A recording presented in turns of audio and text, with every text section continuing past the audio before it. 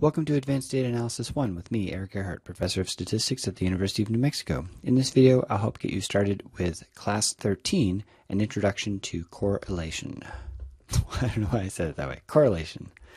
All right, we'll go down to the timetable, and we'll page down a bit to Class 13. And here's correlation. And here, this assignment is a separate assignment to get us started. And I apologize, in a typical year, we would do data collection in class where we would use a ruler to measure your hand span and your height, and also do a memory challenge with words. And uh, unfortunately, we uh, it just is a little too hard to do remotely. So we will uh, save the RMD file and I'm going to use data from three previous years. The first data set, data set one, is for um, a correlation between hand span and height, and the second one is about um, memory recall. And I'll discuss each of these in turn. So we'll go over to RStudio, which always moves over a little bit and we'll open the new files. Just the correlation file is fine. And when, of course, whenever you just download something from my website, go ahead and knit it to make sure that it works. Uh, while that's working, let's see if I can also set the working directory to the source file. And the markdown is still going. Good. It's going to take a little while. I've got a, a couple big um, plots in there. It takes a little time.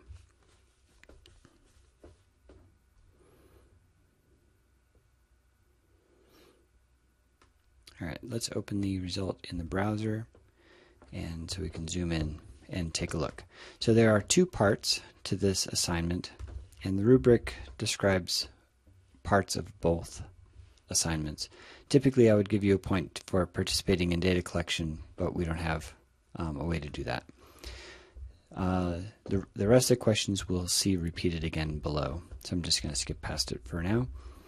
The first one is um, in a previous year, we had a procedure for collecting students' heights and their hand span, as well as their gender, male, female.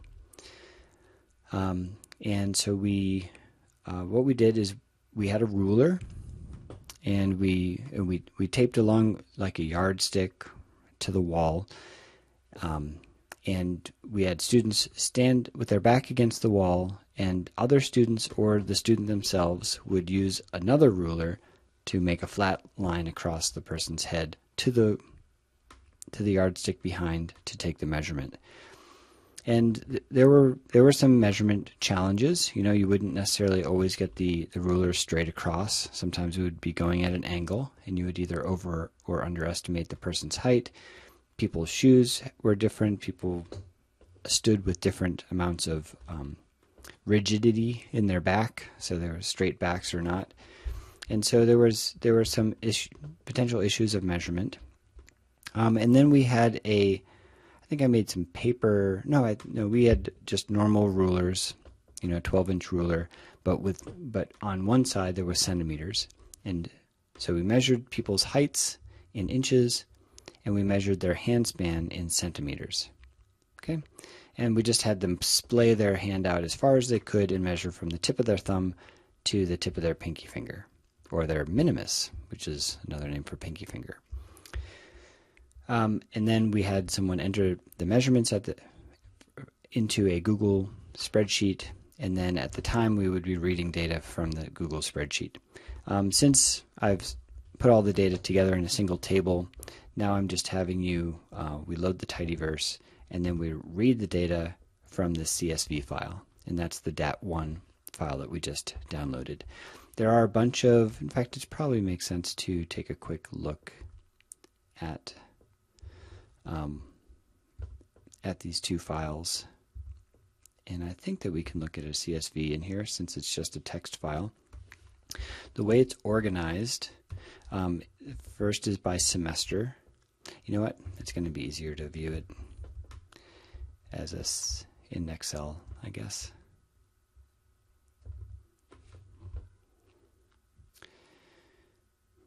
So we have three blocks of data.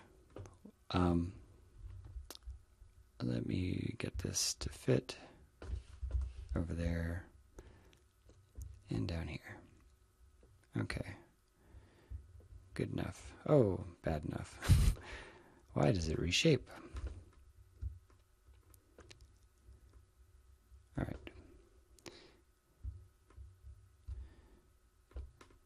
But now I can't see the bottom, which makes it hard to zoom. All right. Sorry, I only record a section of my screen, and in order to record it, I need to move it where it fits. Aye, aye, aye. Okay.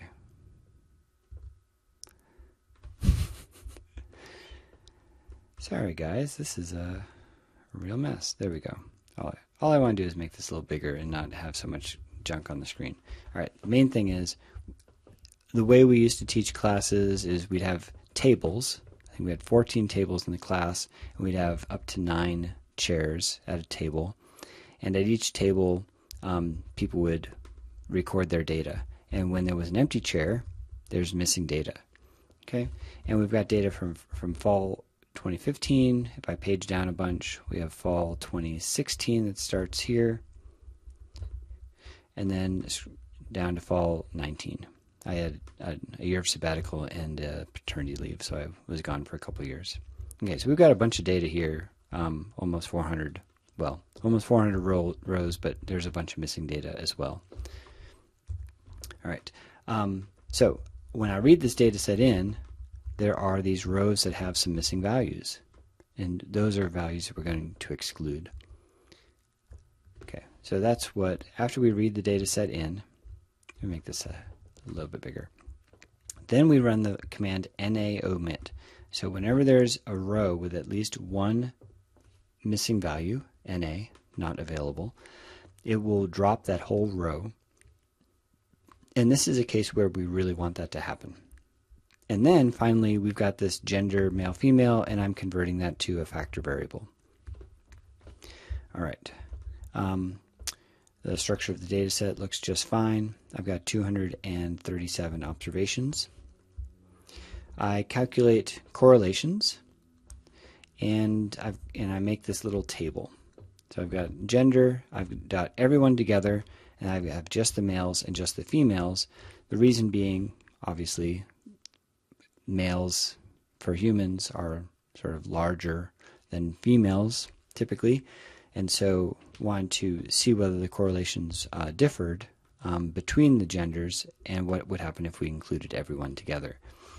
The way that I'm calculating the correlation, so this tribble command is a First of all, it's a tibble, which is just a, a data frame, the name of, the, of what's a data frame in the tidyverse.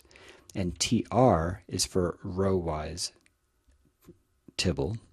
Anyway, the, the format is I create a column name by putting uh, tildes in front of names in front of the in the first col- in the first row, and then under that I'm going to put the actual values. So we've got all under gender, male, and female, And in the second argument, from the data set, I'm going to summarize by, and so whenever you summarize, you take a bunch of rows and you and you perform a calculation, and you the result is a single row.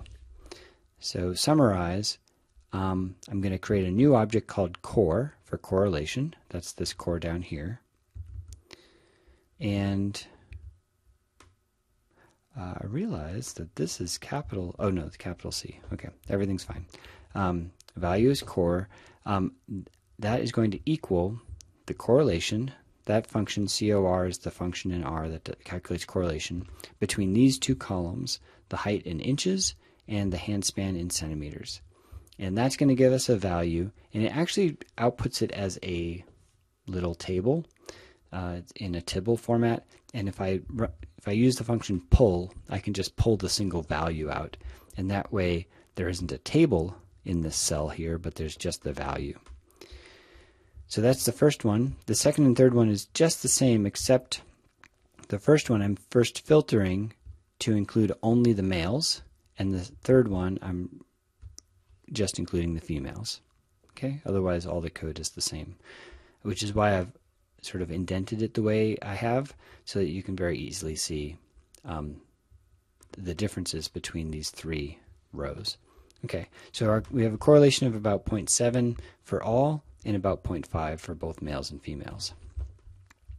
Here is a plot. GGally is a way of creating a pairs plot or a scatter plot matrix. And this ggpairs function comes from the GGally. I'm going to, within the data set, I'm going to select three columns, the gender, the height, and the hand span. I'm going to color it by gender. And on the lower diagonal, well, you'll see in a second, I've got the smooth, and on the upper diagonal, I've got density. So let's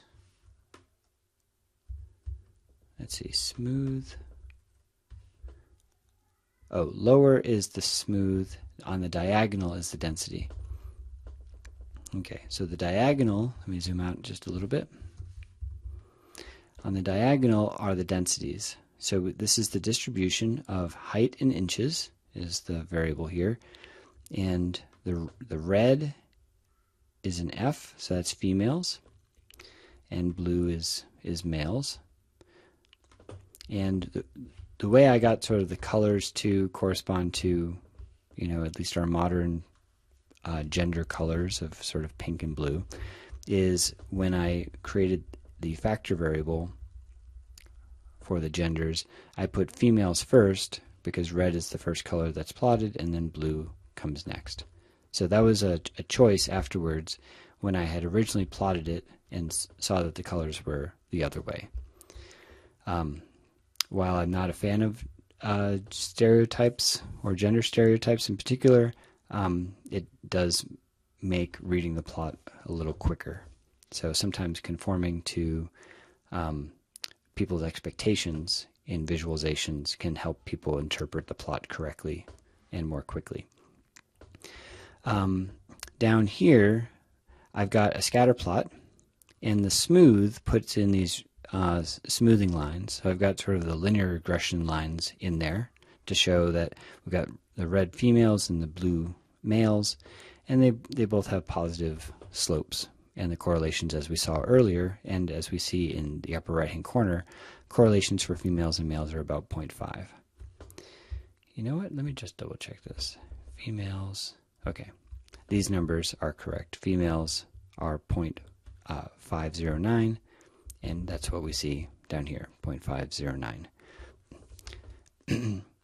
uh, sometimes I might not uh, on, on a video like this someone might be inclined to not point out double checking numbers but I think it's really important to show you um, how much cross checking I do to make sure things are correct it's very easy to to make a mistake coding and have something um, end up incorrect all right, so then I've got some questions to answer. Let me zoom in for the questions. I want you to interpret the correlations for males, females, and everyone combined. Okay, so here I'd like you to put the you know correlation equals this, and then interpret what the correlation means. And you might you might define correlation in terms of its it's a measure of a linear relationship. And you might also describe this as a, a weak correlation, a moderate correlation, a strong correlation, a perfect correlation, uh, no correlation. Use some adjective to describe the strength of the correlation. Um, these types of words, the strengths of correlations, are really going to depend upon uh, the field of study that you're making the interpret, interpretation in. So, for example, in biology, where there's tons of variability, uh, a 0.15 or 0.2 correlation might be very strong for for a given um, scenario. Um, in you know in body measurements, we know that size, you know, things scale with size. So um, you know, probably a 0.5 is a is a moderate to strong correlation, and a and a 0.7 or 0.8 would be a very strong correlation. Um, I've got height was measured in inches, second question, and handspan was measured in centimeters. How would the correlation change if we measured both handspan and height in inches? Okay, so the question really is does the correlation value depend on the scale that you measure it on? And then the third is why is there a large difference in the strength of correlation for everyone compared to either gender separately? Okay, so just maybe looking at the plot here, the correlation for everyone combined for all these data points is 0.7, whereas each of the groups separately is only about 0.5. So why is it why does it jump up to 0.7 when you include everyone? Okay? And for there I would go back to the definition about how much these points resemble um, a straight line and how much oops and how much sort of spread vertical spread around the line there is.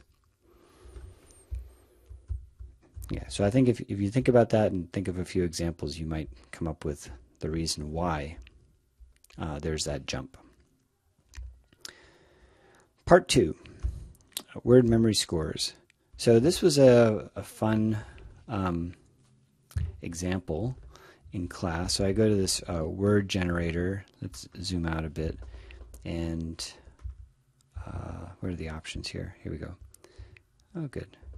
Okay, so I give them uh, 15 numbers, and I let them study those numbers for, well, let, us go and, and read the uh, procedure. Okay, so I put up a list of 15 words, just as you saw.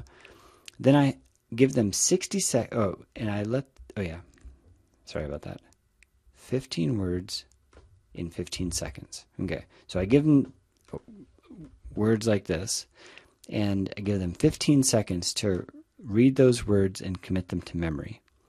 Then they have 60 seconds to write or type as many words as they can remember. And then they just, and then I show the words again and they can score themselves. Okay, I got umbrella, glove, and numerous, and chicken. So I got four, something like that. Then, so I write down a four. That's my first score. Then, given your performance, make a guess as to how many words you'll remember in round two. All right. So if I got four the first time, maybe I think I'm only going to get, maybe I'm going to do a little bit better. Maybe I'll, I'll put five or six. Okay, something like that. And then we regenerate uh, a set of words, give them 15 seconds, let them write those words down, and then score themselves and um, and see how they did. So you'll get each each person has three numbers that they recorded. So let's open up that data set. Okay, good. We didn't have to fight with Excel. Okay, so I've got the semester, not a big deal, the, the table and the person and their gender. I also added, let's, let's uh, expand these columns out. Um, I also indicated whether they were a graduate or undergraduate, just thinking that that might be, maybe there are differences.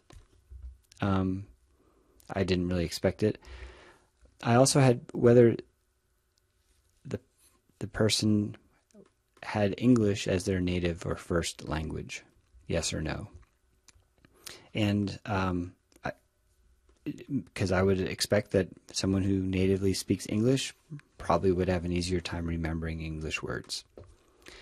And then we have their score for the first time, this their guessed score, their, their prediction about how well they think they will do in the second round, and then their actual score for the second one. Okay, so here, this first person uh, got a five the first time. They figured, I'll probably get a five again and then they got a six the second time. Uh, this person got an eight. They said, okay, maybe I'll do a little bit better, but then they got an eight again. So that's that's sort of the pattern. Um, here's someone who got an eight and then figured, well, I got lucky. I probably won't do very well next time, and they did even worse than that. All right. Um, all right, and uh, so that, that's sort of that's what the data look like. Let's go over and look at uh, some plots. So I make a big. Uh, so I read the data set in. I admit uh, I omit the missing values. I create some factor variables for gender, the graduate, undergraduate um, indicator, and also their native English. I also calculate correlation between um, score one and what they would guess, what their prediction is for for for their second one, guessed what they guessed, and then what they actually got, and then the correlation between their first two, their first score and their second score. Okay. And here are the values, and you're going to spend quite a bit of time looking at these numbers. What we see is that, um, well, I don't want to give away all the spoilers. Anyway, I think I've told you enough to, to think hard about about what these correlations are and why why potentially these values look the way they do. Okay. Uh, here I've done a ggpairs again, and this ends up being just a little bit too big. i am plotting all the all the variables. Um, you know, the, they are colored by the native English native language. Think I, I was thinking that that would be the biggest difference, and actually, it's it, it doesn't really play much of a role. It, it seems to play a bit of a role in this third plot, but I think that's largely because there's this one person here who, let's see, score one did very well, but score two did very bad. so this blue point is having a lot of leverage on this regression line. Um, here's another one who here's a person who did just the opposite. They did moderately well the first time, and then they did, really did excellently the second time. Um, look at this pink one. This pink one is a non-native English speaker, and they did awesome both times. So um, most people get you know between five and nine questions right, and don't really improve. Okay. I also created a bunch of uh, individual points or plots to make it a little bit easier to look at. So here's uh, just score one versus guest two, and uh, their prediction versus their actual performance in the second time, and then the correlation just between their two scores. And here are the two questions to answer. Describe the relationships between the scores and the guessed score. Okay, so that's basically these first the first two plots. And maybe talk about their correlations too. The strength of the correlations. Uh, and then the second question, explain the most surprising features feature of this of these data. And you don't necessarily need to predict what what I think is the most surprising, but I think that there is at least one thing that's surprising in here, and um, I think if you study this, you'll find you'll find maybe a couple things that are interesting. I can think of three or four interesting things in, in this data. that's really what I'm hoping that you'll talk about. And I give you a little bit of lead. In particular, think about how the guessed score, right, the prediction for the second attempt, um, think about that score and how its relationship with the scores differs from the relationship between the two scores. So the question I'm asking really gets down to I think I think the most uh, direct um, oh you know what? I've clearly mislabeled uh, this column. I'll fix that. This is intended not from gender. I copied that from the previous one. This is intended obviously as like this the comparison between scores. Anyway so I have to set this up again? All right. Uh, explain the most surprising feature of the data. In particular, think about how the guessed score, um, how it relates to the, to the actual scores, and how that differs bet- uh, with the comparison of the two scores themselves. So, in particular, you know, look at these two correlations and compare, describe what's happening there with this third line where we compare the correlation between the two actual scores. All right, so that was uh, this is one of the worst videos ever. I apologize, um, but I think this is an interesting assignment, and I uh, hope you'll uh, enjoy thinking about this data and uh, and reviewing what you've learned about correlation. And I apologize that this is a year when it doesn't really make sense to to do the data collection ourselves. Um, that is a, a more fun way of doing this assignment. All right, enjoy.